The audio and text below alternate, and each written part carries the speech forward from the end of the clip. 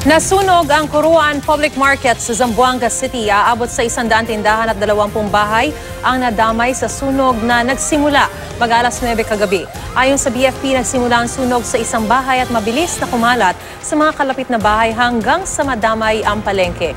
Pahirapan ang pag-apula sa sunog dahil naantala umano ang pagresponde ng mga bombero. Paliwanag naman ng mga bombero, malayo ang nasunog na lugar sa fire station. Bukod dito, sira pa ang isang fire truck na malapit sa lugar kaya hindi ito agad nakaresponde. Pasado alas 11 na ng gabi nang maapula ang sunog, nasa 3 milyong piso ang halaga ng mga naabong ari-arian. Inaalam pa ang sanhi ng sunog.